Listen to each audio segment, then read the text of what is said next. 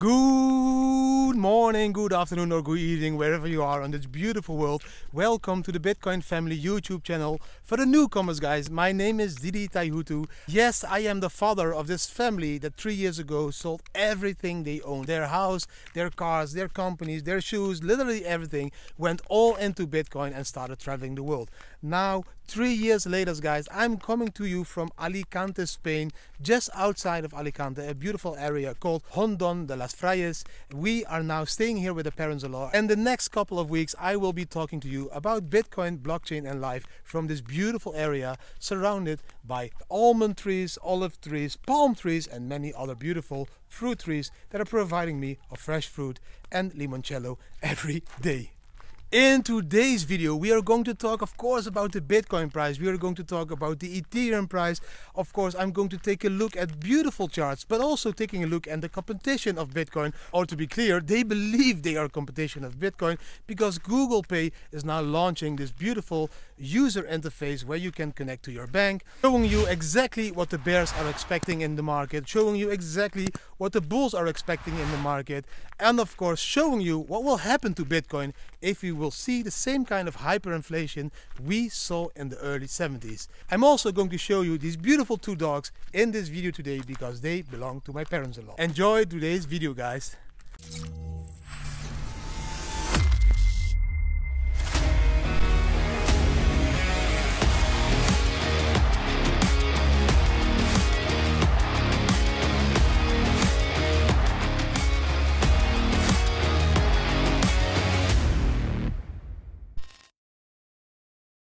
Hi guys, where am I walking at the moment? That's a good question. I am walking on the driveway of my parents-in-law.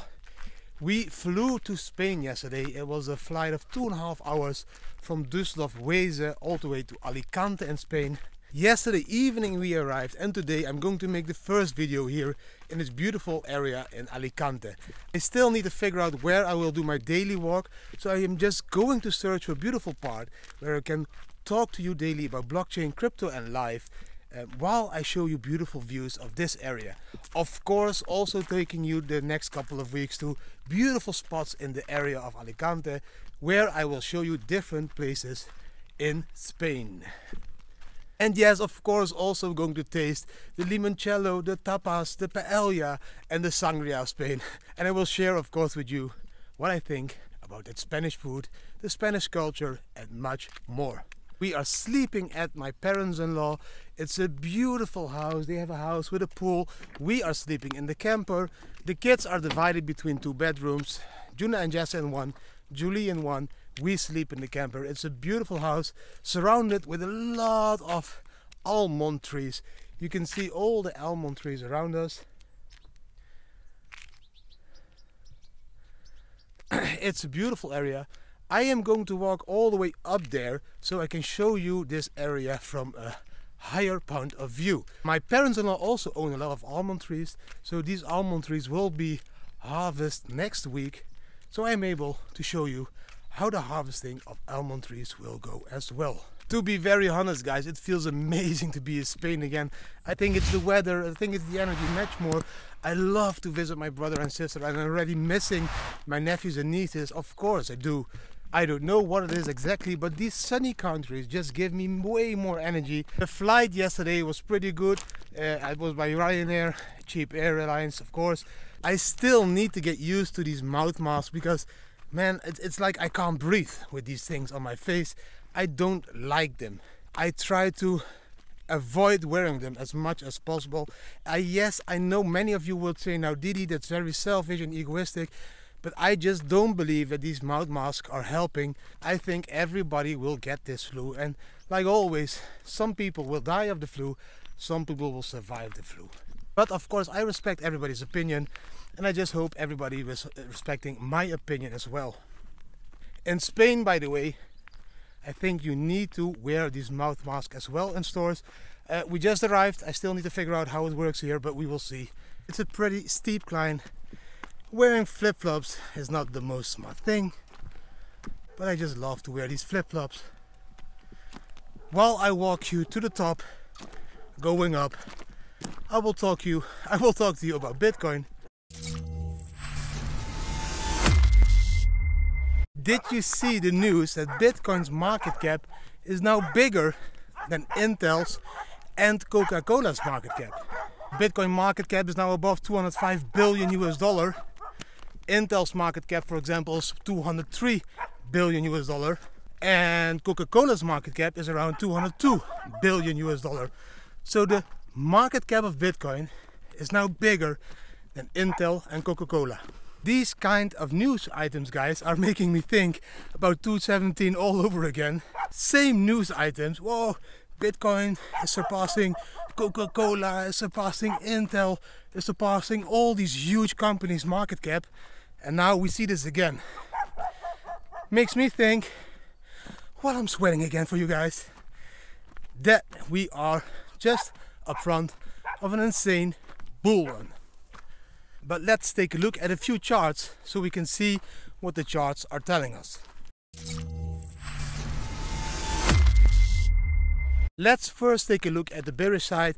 Um, let's use this chart for this one. Bam, this chart. You can see that the bears are expecting Bitcoin to drop all the way down to 9,700 before we go up again. And why? Because the bears think we need to fill the CME gap that was created around that area. But like I always say to you guys, if you look to the left on the chart that way, you can see there was a CME gap as well in 2019. And we just filled this gap. So we filled this gap a year later than the gap was created. If you look on the chart on the left side, it's this small green box. In this small green box, you can see there was a gap and this gap was just filled when Bitcoin peaked to 12k last couple of days. So it is not like a fixed rule that these CME gaps need to be filled like in two days or in a week or in a month. It's completely open. It can even take a year. So in my opinion, we are not going to fill the CME gap the next couple of weeks. In my opinion, we are going up. We are going to go to 12k, we are going to go to 13.5k, we might even see 16 to 18k if we keep following the fractal I showed you a few days ago in that video. Almost at the top, yes, heavily breathing, sweating.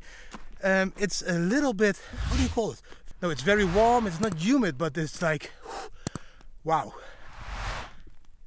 I now have an amazing view. Okay, that climb was worth this view. Beautiful. It's very cloudy, so the view is not like very open, but it's that cloudy that you can even see the clouds hanging over there and the rain is falling out of the clouds.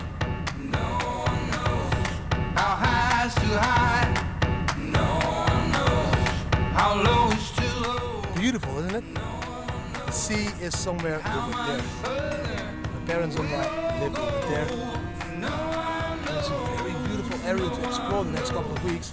I think you will enjoy the next couple of weeks videos because it's going to be very beautiful to see me sweat again while talking to you about Bitcoin, blockchain and life. But to get back to the story guys, so every time you hear people talking about the CME gap we need to fill, you can see on this chart that we don't need to fill the CME gap right away. We can even fill it in like six or months or a year. So again, my opinion, the chance that we visit 13.5k in August is way bigger than we visit the CME gap we created. And that is exactly what the bulls are expecting, guys. The bulls are expecting that if we break the resistance around 11,700, because this is a very strong resistance, and if we break this resistance, we will take Bitcoin all the way up to 12k, even 13.5k, or like I already said many times in all the videos, if we would retrace to these Fibonacci retracement levels, we could even retrace all the way back up to 16k or 18k US dollar Bitcoin price in the next couple of weeks. Also guys, when we look at this chart, bam, this is the monthly Bitcoin chart. On this monthly Bitcoin chart, you can see we are now acting above the Ichimoku cloud.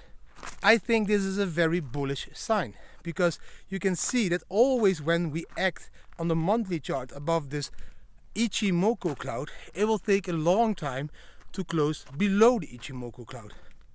So I think this Ichimoku cloud will become greener and bigger and the next couple of months we will see Bitcoin price above the Ichimoku cloud which will push it all the way up again to a new all-time high in the next 12 months. I'm almost reaching the all-time high of today here on this hill because then I'm walking back to my parents-in-law to eat some breakfast and have tasteful coffee. And while talking to you guys about this beautiful sunny country, Spain, it starts to rain. Um, yes, it's a cloudy day. If we look at the weather charts, uh, yes, I also look at other charts than just the Bitcoin and other crypto charts.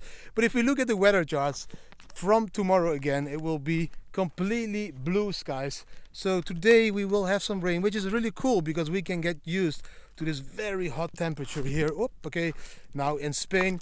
In the Netherlands, it was way cooler, way colder So we can get used to this very warm weather in Spain.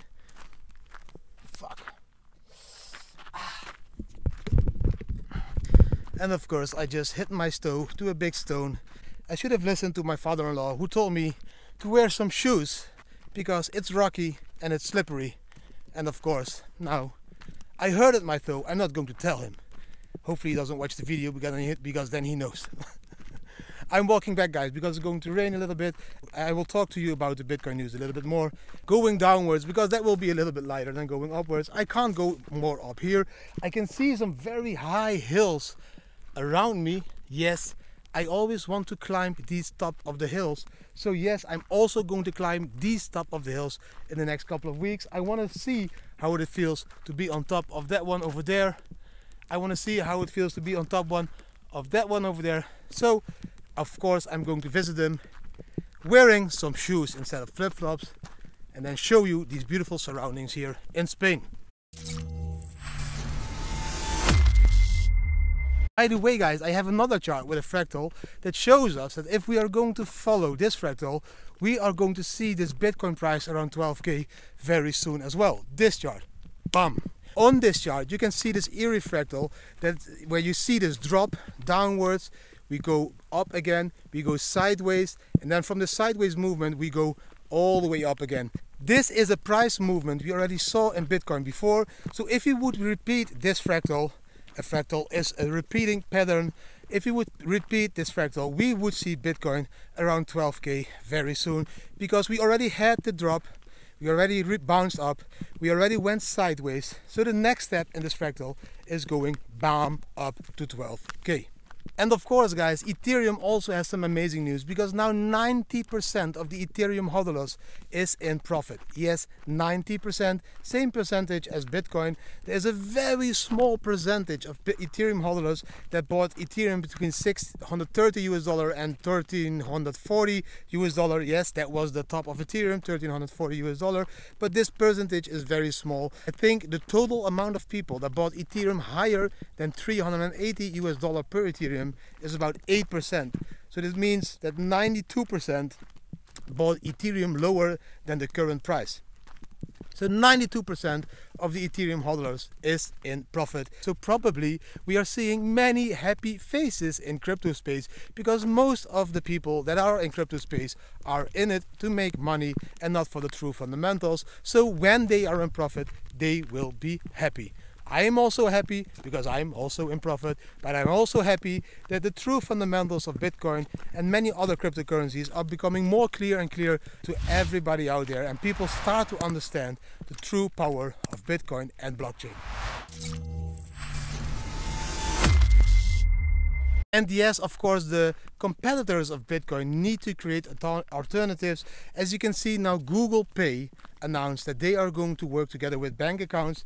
What are they going to do? They are going to create a user interface in Google that allows you to do transactions and everything you normally need to do from the bank's user face. So they're going to connect Google Pay to the bank's interface, overlap it with a beautiful Google Pay user interface. So it looks like you have this whole new payment app, but of course you're just uh, using the bank accounts by using a different interface.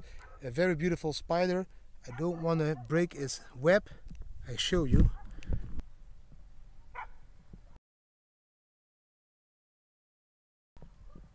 Going to walk around this web. I don't want to break his beautiful structure.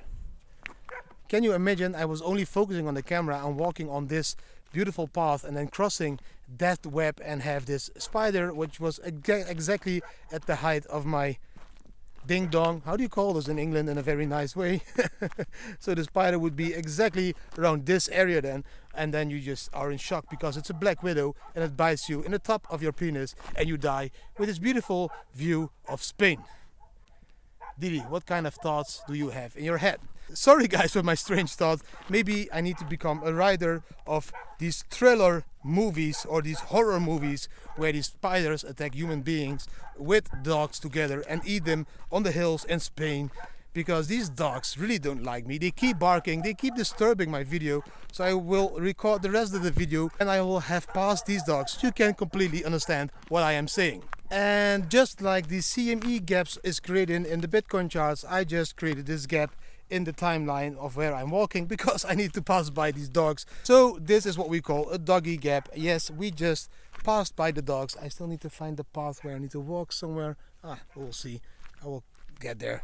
I left you guys, I think, at the competitors that were creating an alternative to Bitcoin and to the cryptocurrencies. Oh yeah, Google Pay. Google Pay now is working together with these banks and creating this beautiful user interface that um, that looks like you're paying with Google Pay, but you're still using your bank account. Of course, this is a really cool thing that they are developing because they are cutting away the middleman. But then again, how does it work with the privacy? Because Google already knows so many things about you guys and now they want to know also everything about your finances. I don't think this is a competitor to Bitcoin and many other cryptocurrencies which exactly are focused on keeping your privacy. So I don't think it's a real official competitor to Bitcoin and many other cryptocurrencies, but it's a competitor to PayPal and to all these other companies that provide payment solutions other than a bank. So to be clear, in my opinion, it's not a comparator to Bitcoin because it has nothing to do with privacy. It does nothing to do with blockchain. It has nothing to do with creating a honest, open economy for everybody in the world to join. It has nothing to do to give everybody access to the monetary system, also those people that don't have a bank account. That is why I'm in this industry for the true fundamentals we need to give people access to the monetary system if they don't have access to a bank account as well. All these people around the world that don't have access to a bank account now have access to the monetary system just by using a telephone. And to be completely clear, this new Google project with the banks, you can only use this when you have a bank because the Google user interface is going to be connected to your bank account. It's not even close to the revolution Bitcoin is creating for our world. It's just another way of paying with money like PayPal or debit cards or credit cards. Bitcoin is completely different. Bitcoin is going to give access to the monetary system to all the people around the world that are unbanked. This Google interface, you need to be banked to use it. So be aware that you understand the difference between these projects and Bitcoin or any other cryptocurrency that is fully decentralized. And again, the monetary system that we already have that is built on the banking system is printing a shitload of money every day. And some people understand exactly what this is going to lead to, like Ari Paul. Ari Paul just did an interview with Cointelegraph where he stated, people, if we keep printing money in this fast way, we are going to create hyperinflation. Because there will be a point in the future that the Fed, the Federal Reserve, needs to decrease the value of the dollar to be able to repay this huge, this insane sovereign debt. And when this is going to happen, and this dollar is being decreased in value, we will see a huge hyperinflation like we saw in the early 70s. And when we will see this huge hyperinflation that we saw in the early 70s, a lot of wealth is going to be transferred into inflationary resistance currencies like gold or silver at that time, but now we can add Bitcoin to it. So Ari is saying if we will see the same amount of hyperinflation we saw in the 70s, gold could go all the way up times 10 and Bitcoin even times 30. So this is like 3000% from where we are now. So I fully agree with Ari on this. I fully agree that we cannot just unlimitedly keep printing this shitload of fake money just to stimulate the world and the economy because there comes a time we need to pay back our debts. And of course, the game is always the same that when governments need to pay back their debts, they will decrease the value of fiat so they can pay back the debts. This was the video for today. I hope you enjoyed this new surrounding here in Spain. I'm going to share many more beautiful surroundings in Spain. I still need to get used to all these places where I can go, but I think this is a beautiful path to share my visions about blockchain, Bitcoin and life every day. If you did like the video guys, give the video a thumbs up, share it with your communities, subscribe to our channel, hit the notification bell and leave a comment because I love to reply to your comments guys. Thank you for watching this video and like I always end the video you need to remember to zoom out in crypto and to zoom in at life. Enjoy every single minute of the day because that is exactly what makes life worth living. Thank you for watching and see you tomorrow again. Bye.